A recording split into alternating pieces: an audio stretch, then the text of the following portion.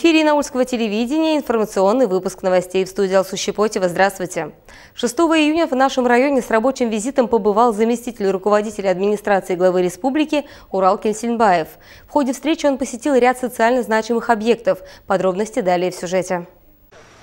Совместно с главой администрации района Ильшатом Вазигатовым они обсудили, как проходит день поминовения и почитания в нашем районе. Среди участников акции были организации предприятия, а также местные жители. После делегация направилась в мечеть «Ислам». Здесь представители духовенства рассказали о своей работе во время изоляции, поделились насущными проблемами. Очередной пункт остановки – взрослая поликлиника. В первую очередь для всех посетителей обязательно температурный и масочно-перчаточный контроль. Сотрудники больницы рассказали о том, как в настоящее время время ведется прием граждан в лечебном учреждении, после чего делегация направилась в Янаульскую коррекционную школу-интернат. Учебное заведение возвели в рамках реализации республиканского проекта 100 объектов. Вопросы, затронутые при встрече с директором школы, касались количества школьников, условиях проживания, как протекает процесс обучения во время пандемии. В продолжение темы коронавируса они посетили Янаульскую центральную районную больницу. Главный врач Тимур Мадьяров рассказал о работе учреждения в режиме повышенная готовность, о количестве инфицированных COVID-19 в районе и как проходит их лечение. Еще одной темой обсуждения стал ремонт здания больницы и ее техническая база. Я в Янауле довольно-таки ну, часто бывал. Сейчас сегодня я приехал с рабочей поездкой. И, конечно же, мы не могли пройти мимо лечебных учреждений. Мы должны были обязательно посмотреть лечебное учреждение. Я считаю, что Янаул один из таких районов, городов, где все принятые меры, они приняты вовремя, я имею в виду меры против э, распространения ковида. И э, вот даже проезжая э, территории города, площади города, улицы города, видно, что население обеспокоено о своем здоровье, население на самом деле думает о здоровье своих близких. И еще один момент, то что сегодня впервые в республике у нас проводится День поминовения – это а, праздник, который, можно сказать, мероприятие, праздник, событие, которое направлено на то, чтобы наше население, независимо от вероисповедания, наше население, независимо от религии и от национальности, от возраста, от цвета кожи, от цвета волос, чтобы они... У нас есть общие, э, общие темы, общие вещи, общие корни. У нас есть предки, которые где-то захоронены. Чтобы мы э, почитая своих предков, также в первую очередь, конечно, передавали своему новому молодому поколению это почитание, чтобы они с уважением относились к своим предкам, к своей семье. С этого начинается любовь к родине, и это называется как раз-таки патриотизмом. Мы же э, за столь короткое время все посмотреть не успели и не успеем. Надо услышать еще и вопросы, проблемы каждого блока, каждого сектора, а, может быть, какие-то вещи мы, а, я имею в виду администрация, правительство республики, а, находясь в Уфе, можем и не увидеть, и не услышать. Поэтому мы выезжаем периодически, вот наши, мои коллеги тоже выезжают в районы, города, чтобы пообщаться непосредственно с теми людьми, которые занимаются на местах данными проблемами. И я считаю, что вот, ну, польза, она у меня поездка не для того, чтобы что-то проверить, да, и чтобы что-то наказать кого-то или еще что-то. Основная это увидеть, какие есть проблемы и попытаться помочь администрации НАОЛа побороть эти проблемы, найти какие-то пути выхода решения этих проблем. Итоги поездки обсудили на заседании оперативного штаба по контролю и мониторингу ситуации с коронавирусом на территории нашего района. Участие в нем принял и Урал Кельсинбаев. Надо сказать, что город преобразился и он стал намного аккуратнее, чище. Э, это говорит не только о том труде, который вкладывает глава администрации, вся администрация, жилищно-коммунальный блок, но это говорит еще о бережном отношении ко всему, что делается, что строится жителями э, самого города. Я считаю, что это вот, наверное, самое главное достижение, когда жители начинают осознавать, наверное, больше и э, с уважением относиться к своему городу, больше любить. Об оказании медицинской помощи пациентам с новой коронавирусной инфекцией на базе Янаульской центральной больницы и создании безопасных условий работы для медработников рассказал главный врач Тимур Мадьяров. По состоянию на 5 июня 2020 э, года в Янаульском районе зарегистрировано 56 случаев, на сегодня 57. Из них находится на госпитализации 8 человек, э, четверо э, в городской больнице города Нефтекамска, 25 человек находятся на амбулаторном лечении с легким течением COVID-19. Выписано с выздоровлением 21 пациент, на карантине находится 38, это контактные лица. Есть в районе есть семейные очаги. Зарегистрировано за весь период 12 семейных очагов. Здесь количество 32 человека. Заместитель главы администрации района по социальным вопросам Гаухар Миндиярова сообщил об итогах поквартирного обхода самоизолировавшихся граждан, соблюдении санитарно-эпидемиологических норм в организациях социального обслуживания. Все члены мобильной группы обеспечиваются средствами индивидуальной защиты, маска, защитная одежда, перчатки. Для работы групп выделяются служебные автомобили администрации и муниципальных учреждений. Члены мобильной группы проверяют нахождение граждан по месту проживания, интересуются состоянием их здоровья, напоминают, что они не должны выходить из дома, исключить контакты с другими лицами. Продукты и медикаменты в случае необходимости доставляют волонтеры. При этом доставка абсолютно бесплатная. За весь период мобильные группы посетили места проживания 410 человек. Из них 144 прибыли из-за границы, 30 пациентов РКБ имени Куватова, 173 человека прибыли железнодорожным транспортом, 26 человек из регионов РФ неблагополучных по коронавирусной инфекции, 9 граждан, это вахтовики, Тему контроля соблюдений требований об организации правил поведения хозяйствующими субъектами озвучила заместитель главы администрации района по экономическому развитию и предпринимательству Файруза Ганиева. В завершении совещания все участники смогли поделиться своим мнением и подвести промежуточные итоги. Гульнара Сиддикова, Нилсафин, служба новостей Янаульского телевидения.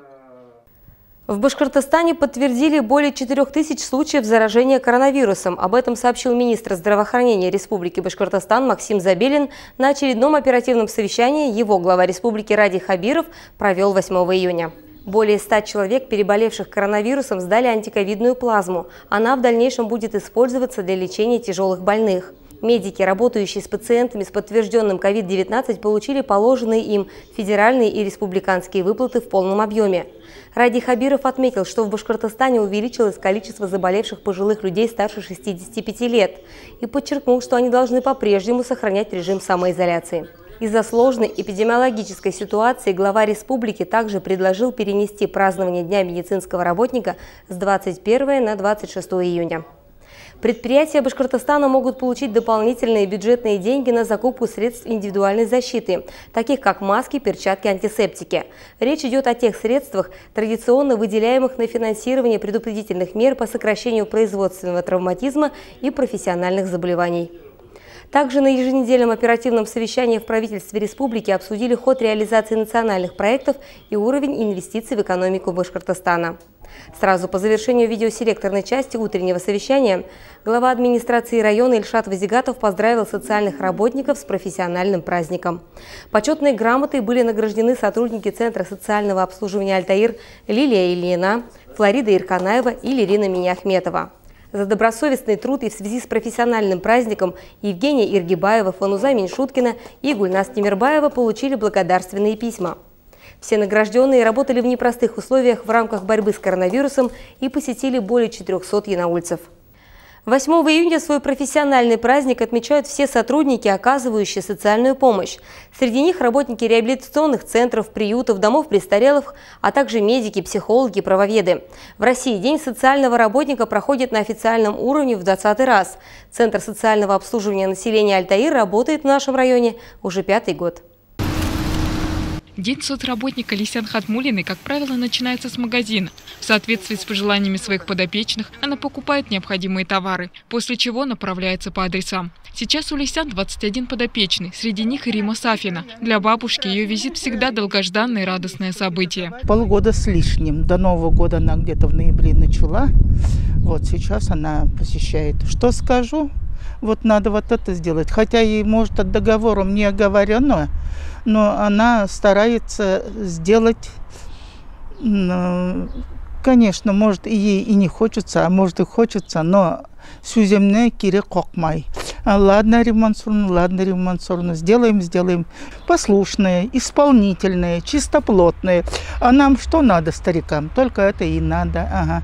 Скажешь а я это чай попьем ой неудобно ой неудобно я говорю я тебя жду чай пить ізгілеп тартқылап все равно к столу я ее сажу мы с ней чай попьем это ведь не только работа нужна, но и, как говорится, общение нужно. С наступлением лета, помимо домашних занятий, добавились хлопоты и на садовом участке. Сама хозяйка дома уже не справляется с делами в огороде, подводит здоровье. И тут, как нельзя кстати, стала помощь Лисян. С каждым днем совместными усилиями огород и сад становятся все краше. Как и любой социальный работник, она старается оказать не только физическую помощь, но и моральную поддержку. Надо быть, наверное, психологом, наверное, в этой работе.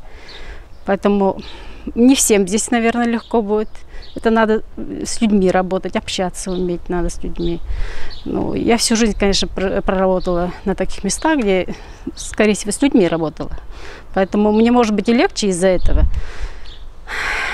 С пожилыми людьми тоже, знаете, они тоже у всех характер еще какой. К ним надо подход иметь. Есть такие люди, которым надо и есть приготовить, посуду помыть, пол помыть, допустим, пропылесосить.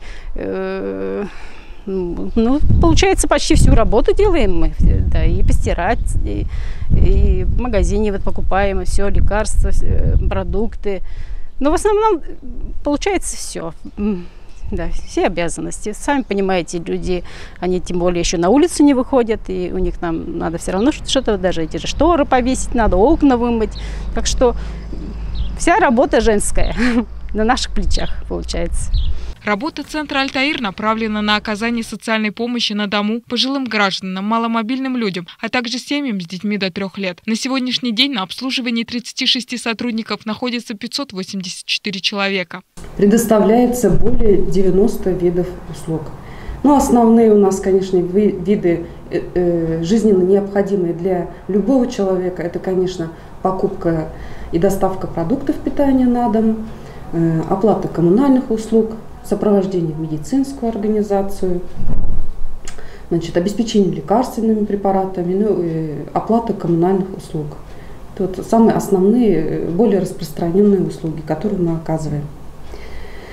Ну, ежегодно мы также участвуем э, в различных конкурсах на предоставление гранта. Вот у нас на стадии реализации э, идет еще проект «Золотые руки». Вот, э, осталось только последнее занятие провести.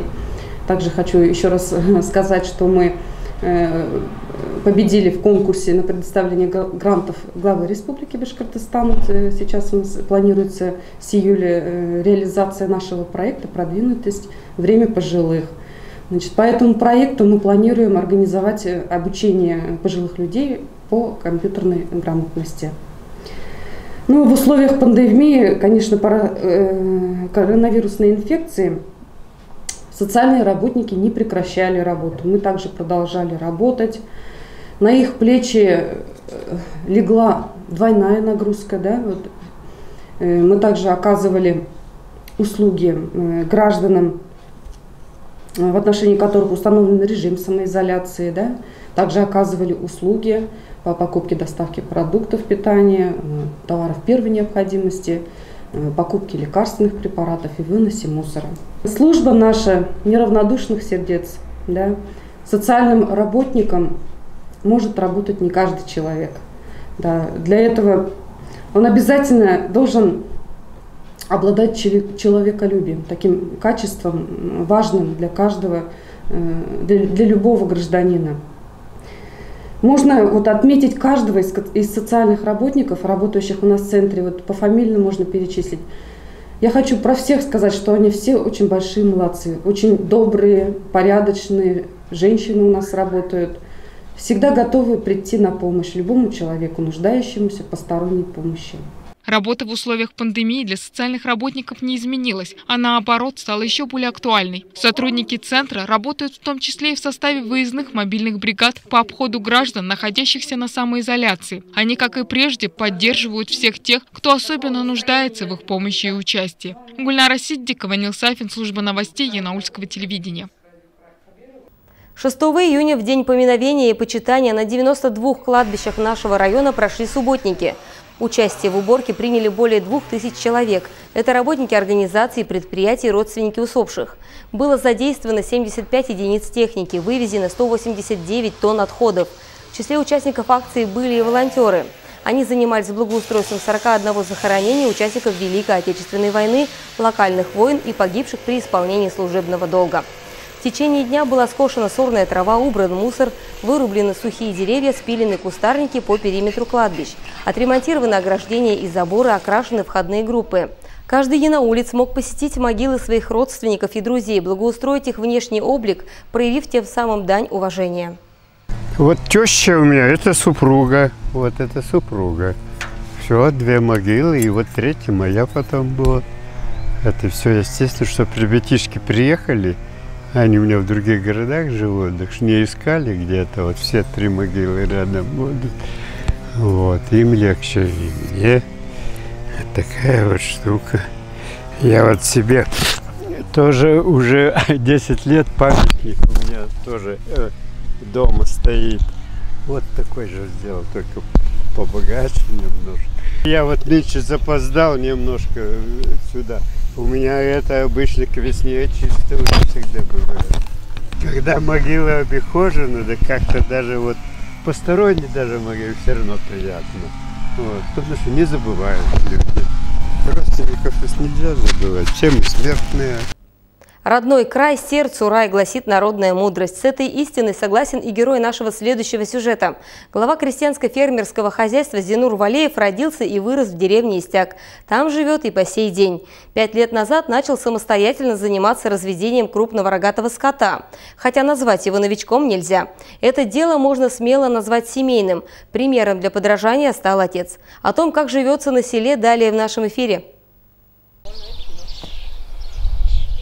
Старое здание фермы Зинур Валеев выкупил 6 лет назад. Сделал капитальный ремонт, теперь здесь светло и тепло. Двухмесячные телята кушают с аппетитом и хорошо прибавляют в весе. В день до 1 килограмма. В рационе овес, витамины и сено. После трех месяцев их переведут на взрослую еду – зерносмесь и фураж. В соседнем зале расположился осенний приплод. Здесь же в холодное время идет и дойка коров. Сейчас большая часть стада на свободном выгуле. Всего в хозяйстве более 120 голов крупного рогатого скота больше 50 дойное стадо. Доем на сегодняшний день молока, но через Меркурий сдал сегодня 688 литров. Это без жирности. На жирность еще добавляется жирность 3,8. На жирность добавляется ну, около 80 литров еще. Планы, конечно, есть. КРС купить, молочного стада. Есть уже э, предварительный договор – Пермскую область. Оттуда хочу купить. У них дойное стадо хорошее, молочное направление, галштинизированные, КРС. Купить хочу 38 голов. Погода в этом году радует, признается фермер. Посев начали 4 мая и закончили в срок всего за две недели. Вот здесь овес посеяно 40 гектаров. А в общий 50 посеял пшеницы, ячменя 40, зерна смеси 40, и еще под силос, как зерна смесь, семечкой посеял тоже 40. И разнотравие, клевер люцерна у меня тоже 70 гектаров. В этом году увеличил площадь на... Сейчас оформляется документ, тоже посеянный уже, 98 гектаров. Вот сейчас химпрополку будем делать. И биофунгицид, удобрение сюда. Как будем тоже вносить опрыскивание, методом опрыскивания при химпрополке. Так. А техника имеется тоже, сеялки есть, культивации, все, борона, все имеется, комбайн тоже свой. Старый, но работает. Два дня назад приступили к покосу многолетних трав. В хозяйстве есть своя техника. За ее исправностью ежедневно следит механизатор Ирик Шагалиев. Я всю жизнь на полях, я в колхозе работал. Вот 83 -го года начал, как говорится, всю жизнь на земле. Вот 50, 56 лет. Устраивает, нравится, что я хлебороб. Не обижаюсь никогда. Зинур Валеев не из тех, кто привык стоять на месте. В планах увеличить поголовье скота. Для этого он выкупил еще одно пустующее здание, где планирует содержать до 200 голов КРС. Есть у него и своя отрада – лошади. Породистые кони участвуют в скачках, радуют душу и глаз, признается фермер. И это, пожалуй, все новости к этому часу. Впереди прогноз погоды. Берегите себя. Оставайтесь с нами.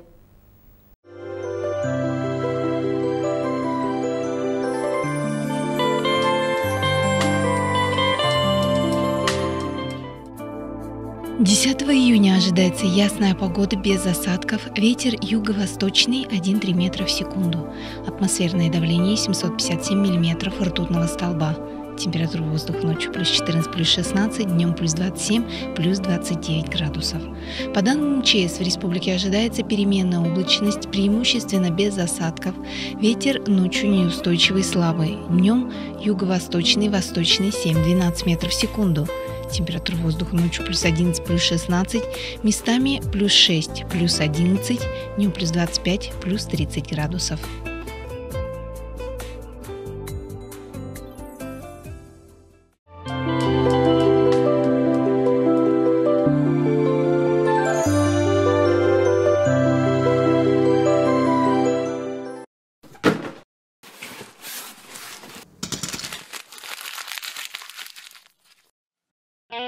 Внимание! В аптеках Farmland феноменальный кэшбэк 10% на все покупки от 500 рублей. Скидки сохраняются. Приходи, покупай, экономь с Фармлендом.